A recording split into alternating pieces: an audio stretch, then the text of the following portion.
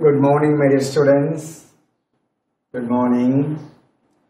Uh, in the study of ecology, or what is called as an environmental biology, I have completed one lecture, and that was on the organism. So, how an individual organism is living in this world is what we saw. How it is related to the biotic factors how it is related to the abiotic factors. These were some of the areas we were concentrating in that lecture. Today, our perspective is going to be a little bit different. Organisms as a population, how they are living. So it's a totally a different concept.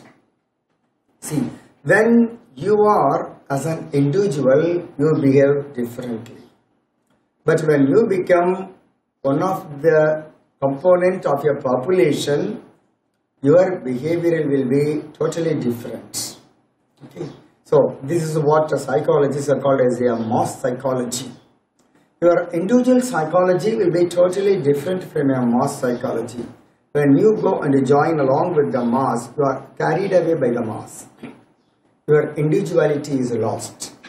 Something like that See, when a plant is living as an individual plant in a particular area, you study that as a plant, individual plant.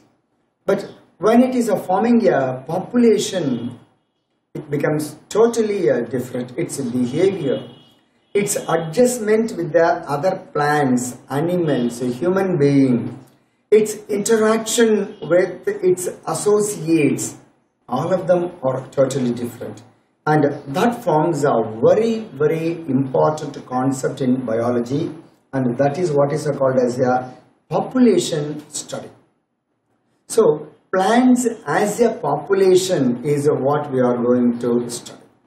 As i will be explaining in my lecture see an individual plant may have a birth a growth and a death. But a population cannot have it a population can have only a birth rate and death rate. So the concepts about the population is very different and we are going to learn a lot about that in our today's class. Good. What are the different attributes of the population? In nature, we rarely find isolated single individuals of any species. Majority of them live in groups in a well-defined geographical area, share or compete for similar resources, potentially interbred, interbreed and thus constitute a population. So, a beautiful definition for population. So what is a population? A group of well uh, organisms growing in a well defined geographical area. So they have to share the geographical area. Then they, they, they should share the resources. They should share the resources. Then most important characteristic feature is they are interbreeding. Interbreeding is the third character.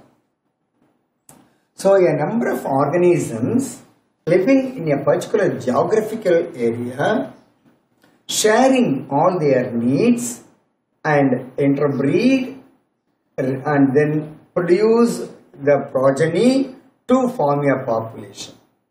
So if all these uh, things are met with, then you can call that group of organisms as a population.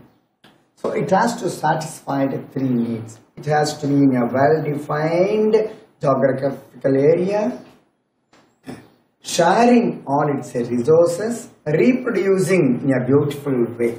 So these are all the qualifications.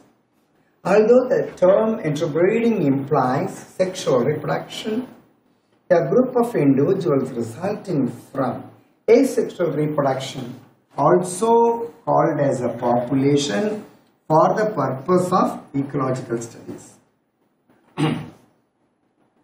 for the analysis of the species concept in taxonomy, there the uh, I mean, uh, definition is uh, totally different. So, a, particular word will have a different meaning in different connotations. Similarly, in ecological studies, when you are going to define what a population is, then you have to take sexual reproduction and asexual reproduction in equal way. So whether a plant is reproducing by a sexual method or asexual method, it will form a population. Okay, and that definition holds good for both type of reproductions. The attributes of a population, I am continuing. A population has a certain attributes that an individual system doesn't have. An individual, an individual may have birth and death as I was remarking in my open, lect open lecture, but it will not have a birth rate and death rate. A population, in population, these rates refer to per capita births and deaths respectively. The rates hence are expressed in change in number, increase or decrease with respect of numbers of the population. Normally, uh, when you go to other parameters, it's all mentioned in percentage. Anything you call in percentage. But a population normally we say 1 out of 1000. That's normally because anything which out of 100 will be very very less and will be going for unnecessary decimals. For example, how many Klinefelter syndromes are there in a human population? How many people are affected by cancer? What is the rate of what is the amount of uh, I mean the, the, the, number of persons affected by tuberculosis in a particular area in a human population. If you are going to express all these things the number out of a hundred will be very very less. So normally in population population studies particularly for human being the number will be always expressed out of thousand because you say the, the, the number of a uh, Klinefelter syndrome may be 7 or a Turner syndrome will be 6 or 5 like that. So everything is expressed out of a thousand for the human population. Okay? So it is expressed as a number um, out of a thousand. Normally for the human population I am telling. Another attribute characteristic of a population is a sex ratio. An individual is either a male or a female, but a population has got no sex. A population is a male population or a female population, it's not like that, it has got only a sex ratio. Example, 60 percentage of the population are female and 40 percentage is a male. Population size, more technically called a population density, is designated as N. So, population density is always designated by the letter N. Okay? Need not necessarily be measured in numbers only. Although total number is generally the most appropriate measure of a population density, it is in some cases either meaningless or difficult to determine. It's a beautiful concept. Let us say in a particular area, I consider the density of that uh, a particular population by number n. Okay. So in a particular area, in a particular area, one ficus bengalensis tree is there. It is it is a, it has a family of beautiful canopy. About uh, 500 people can come and stay under that tree. Such a beautiful big tree it is. You know, the biggest uh, ficus bengalensis is in Adayar. We call it as a popular uh, alamaram. It extends to many acres, they say. And the number of the prop roots, they say it is a more than 700. You know the giganticity of the Ficus bengalensis. So one tree is there. what the amount of oxygen that is given out, the carbon dioxide that is uh, consumed during the photosynthesis, the amount of carbon dioxide released during uh, the respiration, and in terms of all activities. See, what this single um, Ficus bengalensis a plant is doing, even one lakh grasses will not be able to do.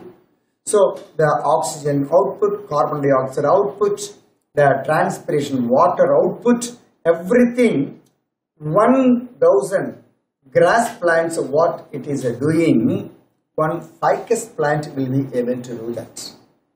So if I say in a particular area, only one banyan tree is there, in terms of all potentialities, it is equivalent to thousand grasses. Okay, so the number is not of much useful value.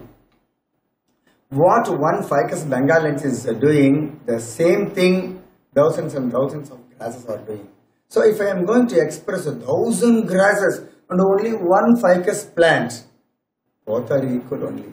So the number is always misleading. so the concept of a number in population studies is always misleading.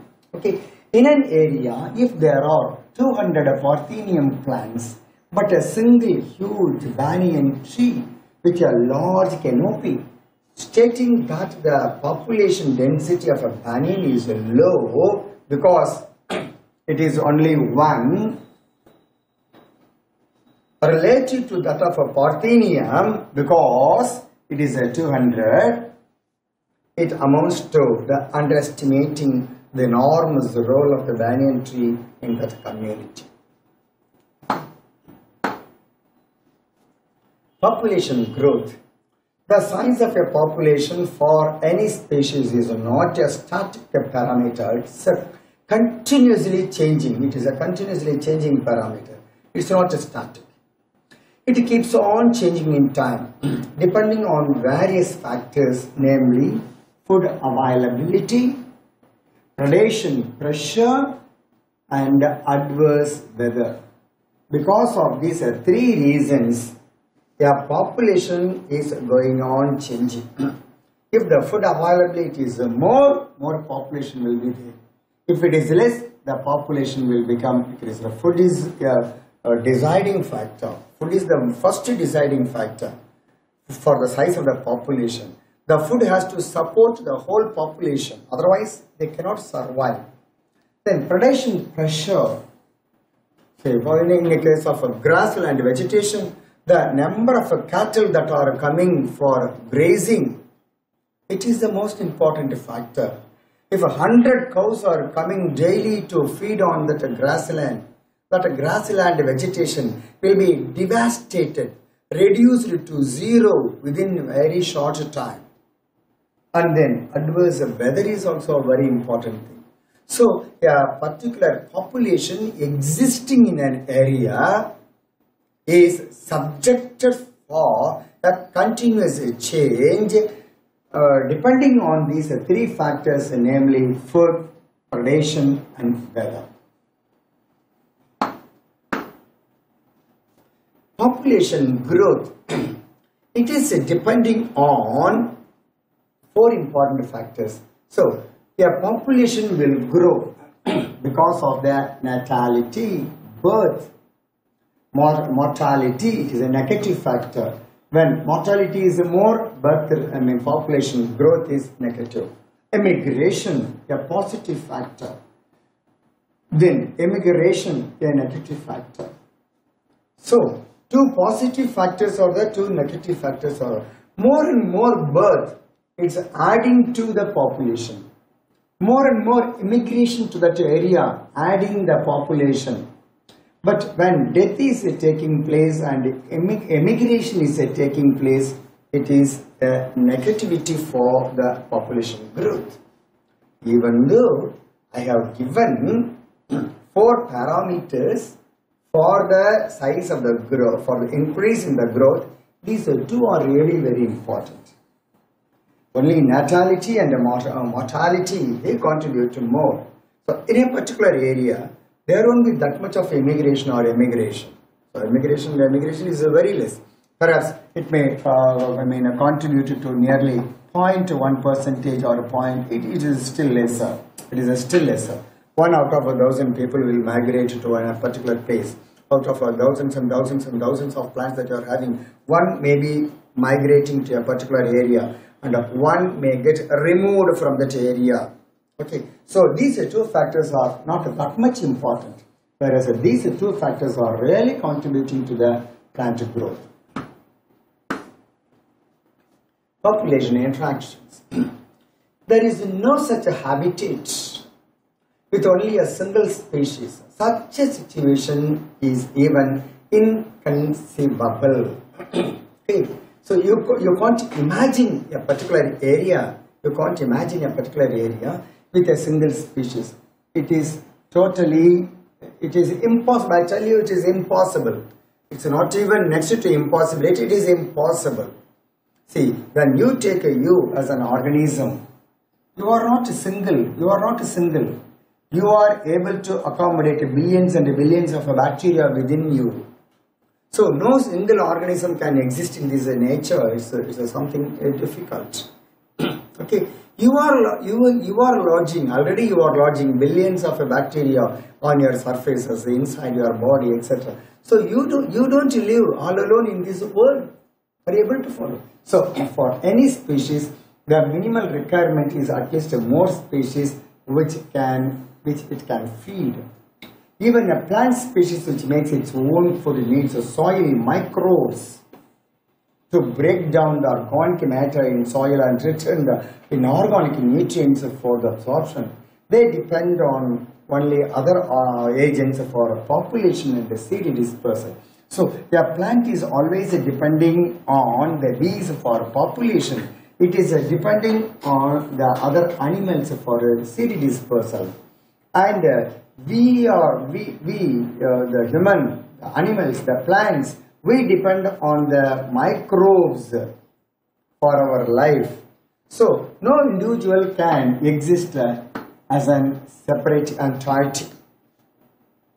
Now i am going to design my lecture based on these uh, six concepts.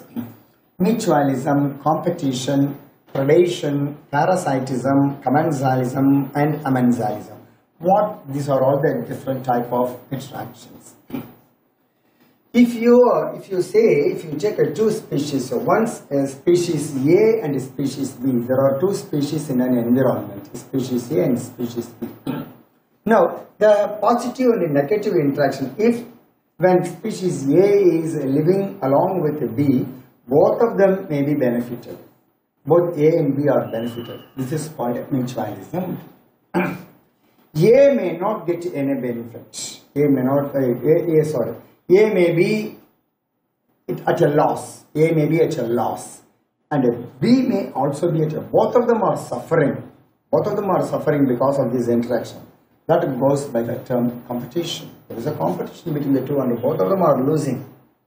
Now, in an interaction, when species A is benefited, but B is losing, here both are benefited, both are lost. A is benefited and B is lost. It's called a predation. A is lost, it's detrimental to A, but B is gaining. B is gaining. It's called a parasitism. Parasitism. Now, a is benefiting, but B, no loss, no gain. But A is losing, and B is no lose, no, no loss or no gain. So, different probabilities, just like in mathematics, different probabilities of interaction I have designed, and then the biologists have given different name for the different interactions. There may be mutualism, competition, predation, parasitism commensalism and amensalism. So these are the different type of interactions that we come across in a plant population. Of course, the species A may be a plant, B may be an animal, A may be a human being, B may be an animal. Now, this is a biological studies. It holds good for anything in this world. So both of them, for example, uh, in this may be species A, animal, it, it is getting benefited. And uh, here the plant, uh, uh, you, you can't say it is a loss. It is, it is, a, it is neither a loss nor again you can't say like that. But here you see predation. An animal is coming and eating a plant. So it is a benefit for the animal and it is a loss for the plant. So it is a predating, it is a depending. One animal is depending on another animal. So this dependency could be in any form. It could be a plant, it could be an animal, one could be a plant, another could be an animal, it could be in any way. That's how general terminologies we are using in ecology. Population interactions. Both the species benefit in mutualism and both uh, loss, both lose in uh, competition in their interactions with each other. In both parasitism and predation, only one species benefits, either a parasite or a predator, respectively. And the interaction is uh, detrimental to the other species, namely the host and prey, respectively. So, in a parasitism, it is a loss to the host, and in a predation, it is a loss to the prey. Okay, so it is in that way the interaction has been marked. The interaction where one species is benefited and the other is neither benefited nor harmed is called commensalism. In amensalism, on the other hand, one species is harmed whereas the other is unaffected. In amensalism. In commensalism, in predation, parasitism and commensalism, they share a common character. The interacting species will live closely together. First, we are going to take up one after another predation. When certain exotic species are introduced into a geographical area, they become invasive and start spreading fast because the invaded land doesn't have its natural predator. so, when a plant living is there, when a plant, eh, these are all the plants living in a particular area. When a plant, these are these circles represent the plant. When these plants are forming a population, if it is not having, if it doesn't have a natural predator, there is nothing to destroy this. No animal is coming and grazing. No other plant is coming and destroying these plants.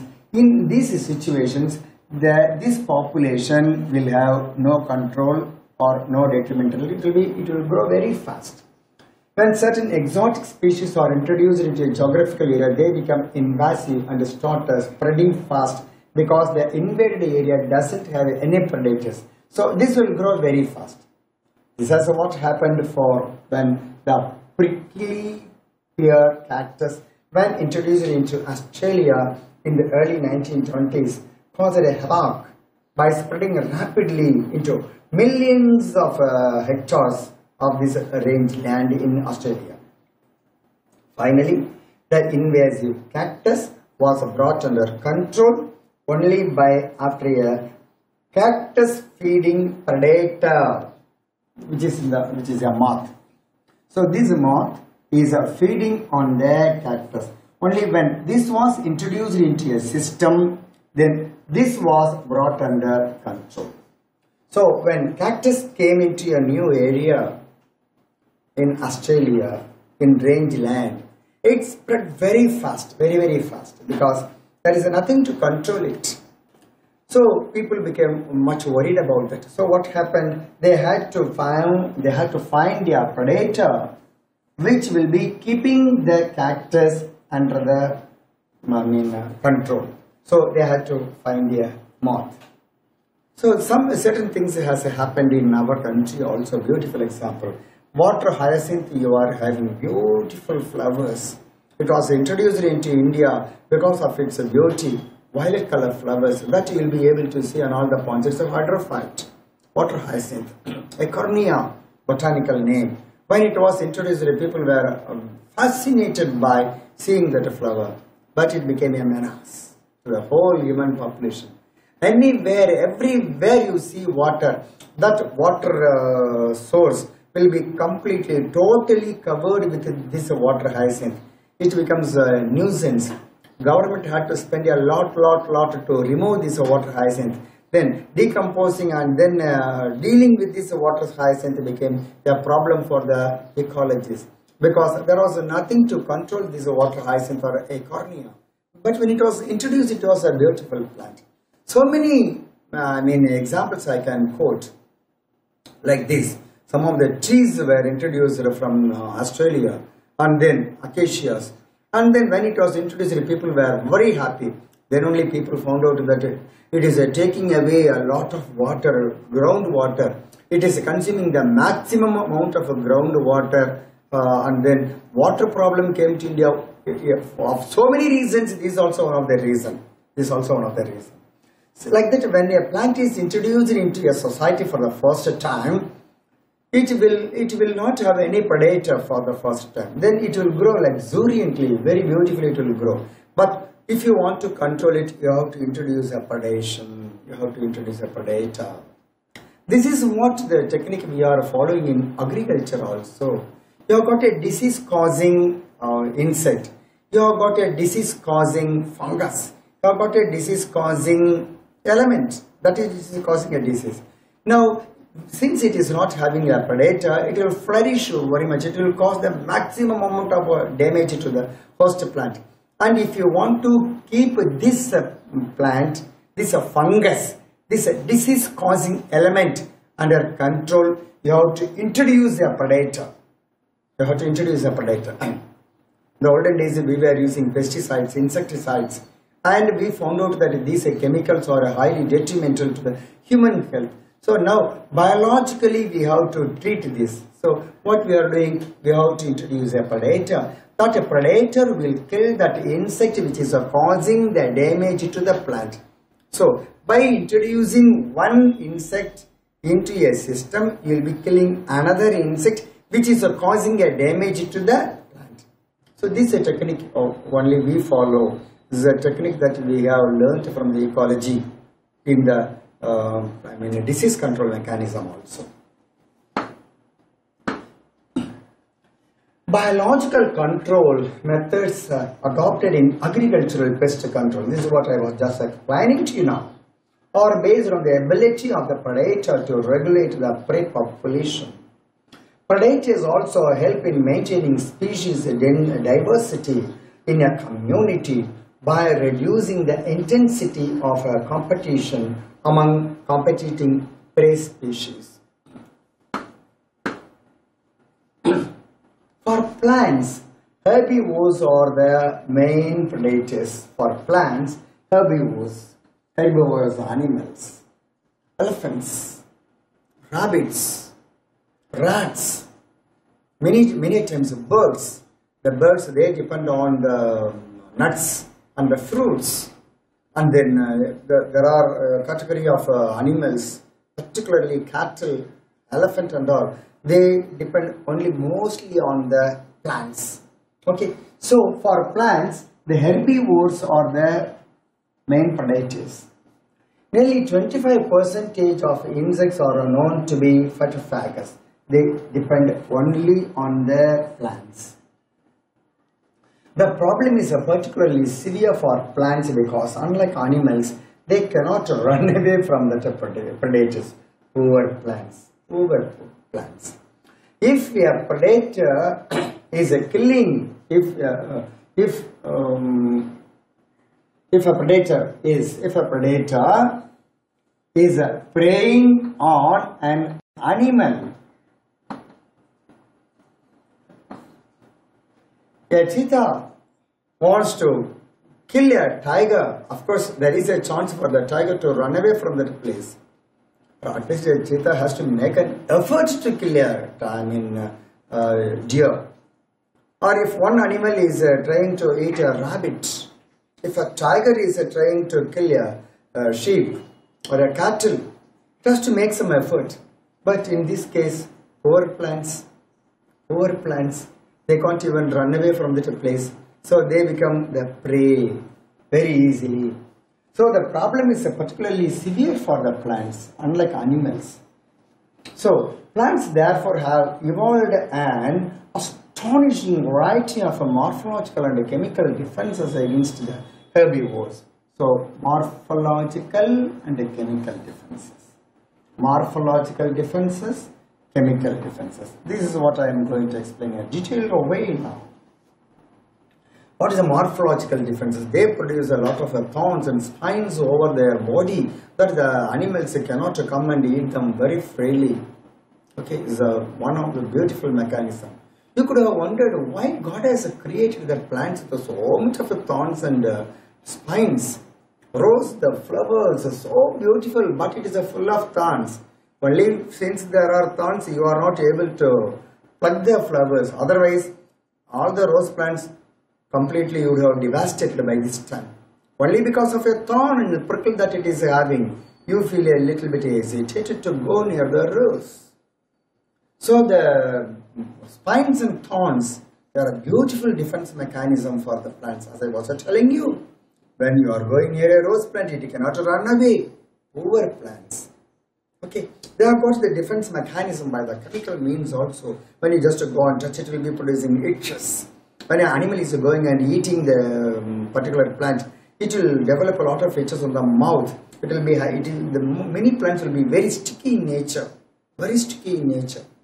How many plants, so beautiful plants are there? There is a plant called, you, you must have heard about a plant called a touch-me not. The moment you touch it, it shrinks and then, so the plant calls itself as a touch-me not. So there is another plant, a beautiful plant called, uh, what is called as a kiss-me-not. Kiss-me-not. The moment you take a plant and then kiss, your whole face will become swollen because of uh, some type of allergic reaction that it is uh, having. So when the uh, animal is going and feeding that plant, it will be having allergic reactions. So some of the chemicals are able to produce uh, highly allergic problems to the animals that they are scared of these plants. They, they won't go near this plant. They are sticky in nature, they produce a high amount of allergy and uh, the plants have got uh, so many defense mechanisms like this to safeguard themselves.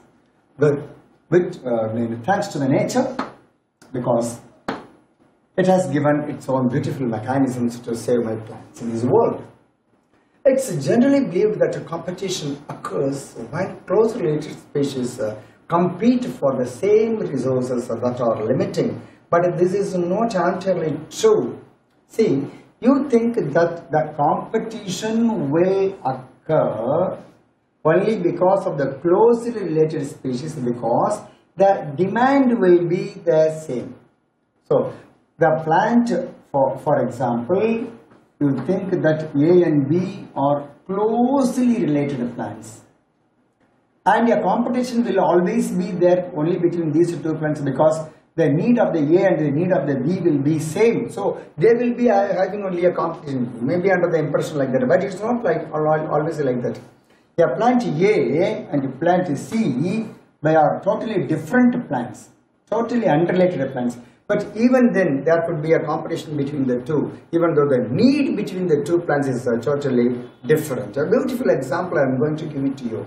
For instance, in some shallow South American lakes, visiting flamingos, visiting flamingos, resident and resident fishes, they compete for their common food for zooplankton. So this zooplankton is being fed by two unrelated animals.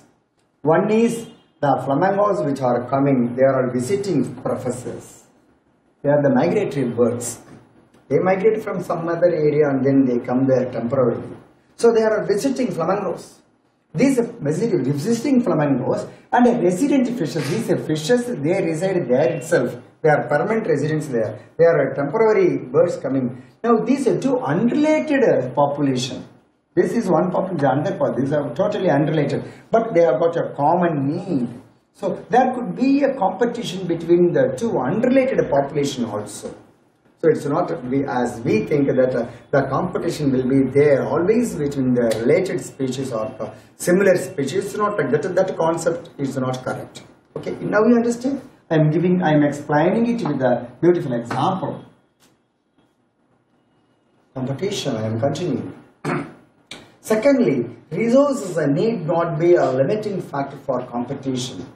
In interference competition, the feeding efficiency of one species might be reduced due to the interfering, interfering and inhibitory presence of the other species even if resources are abundant. So, even if resources are abundant, there could be a competition. There could be a competition. If uh, uh, the food is very much, the food is abundantly present, don't think that the competition will not be there. No, even there, there will be a competition. Okay, even then there will be a competition. The feeding efficiency and then inhibitory interfering factors will be there to have a competition even when the food is abundant, even when the food and the space are abundant. Now I am going to another type of interaction, beautiful interaction called what is called as a parasitism. In a parasitic mode of life, a free lodging and meals are given for a parasite. See, free boarding and lodging. Free boarding and lodging is provided by another plant for a parasite. And uh, they are supplied, these are supplied to the parasite. So it is not surprising that parasitism has evolved so many taxonomic groups from the plants to higher vertebrates. It's a common phenomenon both in plants and animals. Why, why, why in plants and animals? Even in human being, when a guest is coming to your home, he, is he not a parasite on you? So in human being, a guest who is coming is a parasite. The, the house owner is called as a host. The house owner is a host and the uh, man who is coming as a visitor is a parasite. I am very sorry, very very sorry to use the word. If a, if a guest is coming to your home, remains there one or two days, beautiful, we host him very happily and then when he leaves the house, we give him some presentation and then we send him. But if the guest who is coming is staying there in your house for more than 10 or 15 days, is he not a parasite? Is he not a parasite? Is he a guest? No. I am not a to use that. Here he is only a parasite. So he is coming and then staying with you, interfering in all your activities, unnecessarily poking his nose into your work. He has become a parasite. So this parasitism is there in plants, animals, human, everywhere it is there. So when a plant is uh, depending on another plant, it is getting a free boarding and lodging. So it lives happily there, doesn't bother what is happening to the host. Sometimes the host is uh, totally killed because of the parasitism. The parasites are flourishing well and then the host is killed. Okay, so many parasites have evolved to be host specific. So it is a one is to one relationship. A particular parasite can live only on a particular host. Any parasite cannot live on any host. No. So very, it is specific to a species level. It is to a species level. A particular species, even, even at a level of a sub subspecies I am telling, a particular subspecies of a cuscuta can only live on a particular species of an angiosperm. The relationship is so specific. So it is a host specific in such a way that both host and parasites tend to co-evolve.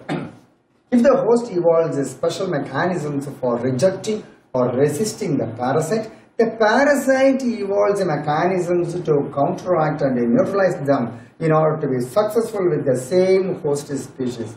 See a beautiful concept in biology. If the host is trying to avoid, reject a parasite, the parasite will find out new mechanisms. A parasite will find new mechanisms to counteract and neutralize the host. Just like that. Your guest is coming to your house. He stays there for three or four days. Then you you give you give uh, understand you are giving some reason and then asking him to go out. But he has got his own reasons to stay in your house. Who is going to him? I don't know. It all depend. It all depends on your efficiency. If uh, some guests are coming and then permanently they have decided to, I mean, uh, reside in your house, you have to reject them. If you are not able to reject them, they will be having their own reasons to stay there. So when a host is developing a mechanism to reject a parasite, the parasite has got its own adaptations to stay with the host. Similar thing we come across in the plant and the disease relationship also. Yeah, when, when you when a bacterium is coming and then attacking you to produce a disease, what you do? You take a medicine. You take a medicine to kill the bacteria. But what the bacteria is doing? The bacteria is developing a mechanism and it is developing a resistance for the medicine. So you are trying to kill the bacteria by a medicine, but the bacteria is trying to neutralize the effect of the medicine. There is a very big competition between you and bacteria. If you are going to win, good. The bacteria are killed. The bacteria are going to win, win. You will go under the soil. You are going to, you will be under the soil. So it all depends upon who wins and who loses. Okay. But you, you understand that there will be always a competition. There will be always a competition between a man and the virus, a man and the bacteria, a virus and the bacteria. Always there is a competition between the two. Who is going to win? Nature decides. Similarly here, a parasite is always trying to be on your host. The host is trying to reject. But the parasite is developing its own mechanism to be with the host because uh, it cannot leave that host and then go away because otherwise the death will be the result for the parasite. So it will be developing its own mechanism to be with the host for the rest of its life. Okay. So this is what is continuously happening in nature. I'm continuing in parasitism. In accordance with their lifestyle, parasites evolved special adaptations. The loss of unnecessary sense organs. See, when a parasite is living on the host, so it is depending on the host for majority of its needs. So nearly 75% of its needs of food, everything is uh, being taken care of by the host. Then why it should have some unnecessary organs? So the loss of sense organs. Many many parasites they don't have eyes, they don't have ears, and uh, presence of adhesive organ that is very important. An anim, yeah, one animal has to, if it has to live on another animal, it has to cling to it very fast, very firmly. Okay, so some adhesive mechanism will be there with the help of the suckers, clinging. So these are all some of the very important concepts because it wants to keep itself uh, remaining the host. So attachment will be there. Loss of a digestive system. High reproductive capacity because the parasites always have so one of the most important characteristic feature of a uh, parasite because their life cycle becomes a very complex. Okay, so it becomes a very complex. It has to find a, another suitable host till the time they cannot have a life. So because of that, their reproductive capacity will be more and they have a complex life cycle. So these are all some of the beautiful characteristic features of the parasites. I'm continuing parasites. Parasites are divided into ectoparasites and endoparasites. Okay, so they feed on the they on the external surface of the host organisms called ectoparasites. The most familiar examples of this uh, group are the lice and the human. Beautiful example. I don't think that will there be any human being in this world whose head is not having a lice, at least one or two. And they say in the in Indian population, there is no Indian who in whose stomach uh, at least a minimum one pair of Ascaris lumbricoides is not there. It's a common thing for any Indian because of this uh, highly insanitary condition. highly polluted nature. And the Indian scenario, Indian situation is like that. Any Indian is bound to have at least a minimum one pair of Ascaris lumbricoides in his stomach. Of course, we may not be knowing that when its number is very less, we don't bother about it.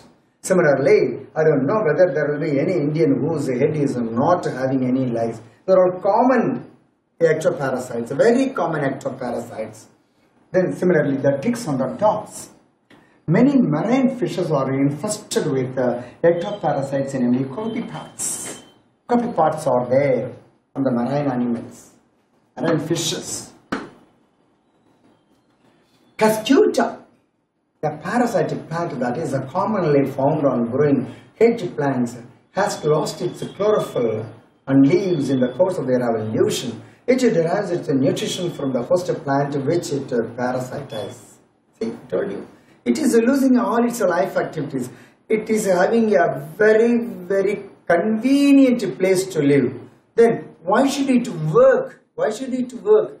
So it has lost its all its chlorophyll. No, no, I want to work unnecessarily with the help of the sunlight, with the carbon dioxide, with the water, and then photosynthesize, store the starch. Why? If when it is a prepared food is available at a cheaper rate, why should you take the pain of preparing the food? That's what a Cuscuta is thinking. A very intelligent plant. Predation. Thorns are the most common morphological means of defense. Chemicals make the herbivores stick, sick when they are eaten, inhabit, inhibit feeding or digestion, disrupt its reproduction or even kill it. The wide variety of chemical substances that we extract from plants on a commercial scale called a nicotine, caffeine, quinine, strychnine, opium. These are all the, alkaloids secreted by the plants to safeguard themselves from the other animals. See, we are very intelligent. We human beings are very, very intelligent. These alkaloids secreted by the plants to safeguard from their predators, we take and then we make use of for our personal pleasure. We take a coffee and we smoke and nicotine. We do everything. But remember, why the plants should secrete all these things for the human being? Any plant is having any concern about the human being? Do the plants have got so much of concern about you? No, no, no, no, no, no, no. The plants secrete all these things to safeguard themselves from their predators. But you make use of the thing because the human intelligence is always there. What the plants are having, we make use of them and then we use it for our pleasure. Endoparasites are those that live inside the host body at different sites. The lifestyle of endoparasites is more complex because of their extreme specialization. Their morphological and anatomical features are greatly simplified with, while emphasizing their reproductive potential. So, their morphological features, their anatomical features, their physiological features, everything is very simple. Everything is simplified. But what is more pronounced is reproductive potentiality. They have got a very high amount of reproductive potentiality. You know one thing? Very interesting information. A pair of Ascaris lumbricoides which is living in your stomach or intestine of a human being, if I told you a pair, a means a male and a female. The male and the female, if it is living in your stomach, the female is laying 40,000 eggs per day. 40,000 eggs per day. Is a per day it is. Why? Why is so many number of eggs it has to lay? Because its life cycle is so complicated. Its life cycle is uh, only when it is laying so many eggs, the eggs, at least one out of this uh, 40,000 will find a re-entry into another human being. Because their life cycle is very complicated. So their reproductive system is very efficient. Your female worm is able to lay, as I told you, 40,000 eggs with the help of a male when it is in your intestine you become the prey. You know how careful you should be now, at least. Brood parasitism in birds is a fascinating example of a parasitism in which the parasitic bird lays its eggs in the nest of its host and lets the host to incubate them. See how intelligent these uh, animals are. A bird is laying the, its egg in the egg of another host and it is making that host to brood it. Okay, and for this purpose, what it is doing, you see, during the course of evolution, the eggs of the parasitic bird have evolved to resemble the host egg in size and color to reduce the chances of the host bird detecting the foreign eggs and ejecting them out. See? The eggs of the parasite, the parasite, this is called a parasite. Some say parts of the parasite, the brood parasite, parasitism. The egg of the parasite has been evolved in such a way that it looks exactly like the egg of the host, so that the host bird will not reject the egg of the parasite.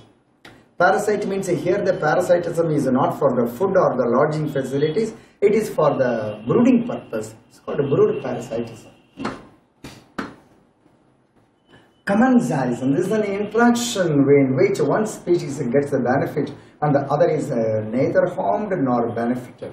An orchid growing as an epiphyte on a mango branch and the barnacle, barnacles growing on the back of your bird benefit while neither the mango tree nor the bird derives any apparent benefit.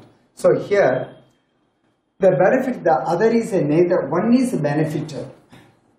Which is benefited? The orchid is benefited by the mango tree. The barnacle is benefited, but the mango tree is not benefited and the world is not benefited. Orchid is benefited, mango tree not benefited. Barnacle is benefited, world is not benefited. One is a benefit, other is neither harmed nor benefited. This type of relationship is called commensalism. A beautiful example I have given for that. The egrets always forage close to the cattle because as they move, they sit up and flush out the insects that otherwise might be difficult for the egrets to find and catch. See, beautiful. The egrets are always on the close association with the cattle because the cattle will go and then uh, they will flush out all the worms and on these worms the uh, egrets will easily find out because it is uh, difficult for the egrets to find the worms directly.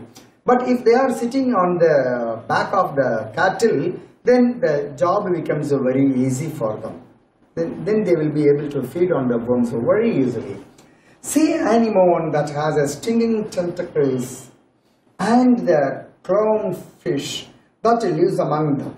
The fish gets a protection from the predator, which stay away from the stinging tentacles. The sea anemone doesn't appear to derive any benefit by hosting the clownfish. So, several beautiful examples in nature for commensalism. This mutualism, this interaction confers the benefits on both the interacting species. Lichen is the most beautiful example for this uh, mutualism. It is, a, it is a combination of an alga and a fungus. Alga or a fungus. This alga may be a, a photosynthesizing alga or a cyanobacterium. A, a beautiful association is giving rise to a separate plant called lichen. Mycorrhizal association is another very good example. Ectomycorrhizal association, endomycorrhizal association. You would have studied different type of mycorrhizal associations. These are all beautiful examples of a mutualism where both are equally benefited. See, the higher plant is benefited by the supply of nitrogen and the mycorrhiza, the fungi are benefited because it is getting a free lodging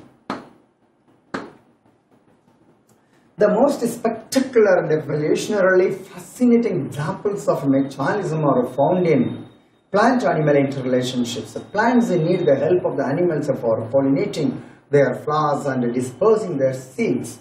Orchids show a bewildering diversity of floral patterns, many of which have evolved to attract the right pollinator insect, that is uh, bees and uh, bumblebees, and ensure uh, guaranteed pollination by it. So here you have got the mutualism between the plant and animal. The animals become the pollinators and then the plants are able to give the fruit, the seeds, etc. What all the birds need, the birds or the plant is able to give. A perfect mutualism is existing between the two. The Mediterranean orchid uh, employs a sexual desire to get a pollination done by a species of a bee. If the female bee's color patterns change even slightly for any reason during evolution, pollination success will be reduced unless the orchid flower co-evolves to maintain the resemblance of its petal to the female bee. This is a very good example of a co-evolution. These are all, these are all, I tell you, these are all very, very, very interesting things in nature. If you want to really understand the nature, you have to move with the nature. See, this point alone is a very beautiful point. Perhaps if I find some more time, I will be able to explain all these things very beautifully. So in this bee, what is happening in, in a particular species of a bee, the female bee, sorry, the orchid flower, the orchid flower looks exactly like the female bee. So the male bee goes and then sits over the flower thinking that it is a sitting over a female bee because the flower looks exactly like a female bee and then it is going on copulating. Beautiful videos are there just go and see on this. See, and then finally it is, uh, it doesn't understand that it is, uh, it is a pseudo copulation. Uh, in fact, this we call it a pseudo copulation. It doesn't understand, realize that it is a pseudo copulation. But since the bee female, the flower looks like a female bee, it is uh, trying to copulate and in that process it is uh, doing a beautiful job of a pollination. So the flower of the orchid by resembling that of the female species of a particular bee, it is able to attract the male bees and then um, get the things done. I think I will I will use the word like that. It wants to get the things done. So it is employing a particular method. Such a type of mutualism, such a co-evolution is existing in nature. A very beautiful concept in biology. I can talk a lot, lot more and more about all these uh, things because the nature is a very fascinating area for any biologist. So these are all some of the areas which are very, very interesting in nature. Good. Now that, um, that there I come into this uh, very beautiful topic on uh, ecosystem. And in today's lecture, I was able to tell you a very interesting aspect about the population. Why a plant cannot remain as an individual, how it is associating itself with its co-members either it is a benefiting or harming in different way how a, I mean, a population is existing in the nature.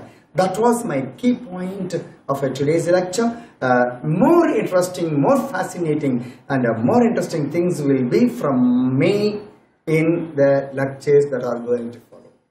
Thank you. That's good. Fine. Nice.